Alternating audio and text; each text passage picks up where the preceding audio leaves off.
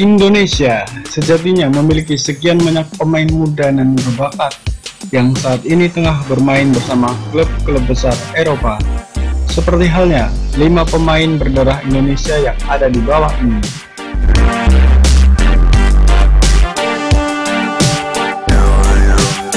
Namun sebelum kita membahas berita kali ini guys, jangan lupa untuk klik like dan subscribe channel kami agar kalian bisa mendapatkan update terbaru seputar sepak bola tanah air khususnya tentang tim nasional Indonesia dan Liga 1 Indonesia 2020.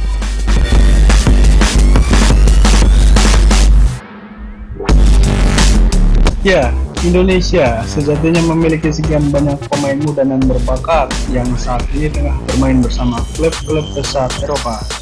Seperti halnya lima pemain yang ada di dalam daftar berikut ini.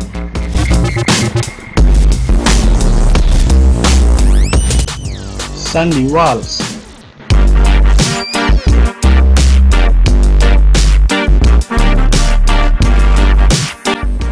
Darren Sidul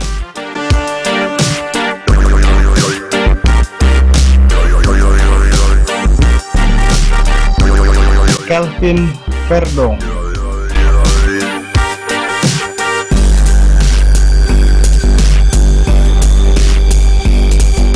Joy Pelupesi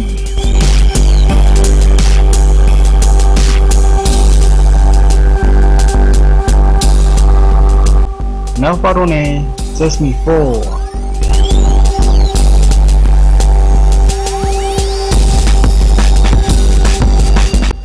Selain bermain untuk tim-tim besar luar negeri, kelima pemain di atas juga memiliki keinginan besar untuk memperkuat tim nasional Indonesia. Salah satu pemain yang sangat berambisi menjadi pemain tim Garuda tidak lain adalah pemain milik Arda Karzali. Siapa lagi kalau bukan Darren Sidul. Kepada media, Sidul mengatakan, jika PSSI ingin mengundang saya untuk membela timnas, maka saya akan senang untuk berbicara dengan mereka soal peluang tersebut dan mempertimbangkan bermain untuk timnas Indonesia. Ucap Sidul, seperti yang dikutip dari kual.com 12 Oktober 2018. Bak Gayung bersambut, kelima pemain di atas berpeluang besar untuk membela timnas Indonesia di bawah kepemimpinan pelatih baru asal Korea Selatan Shin Tae-yong yang berencana untuk memanggil 60 pemain baru pada bulan Januari 2020 nanti.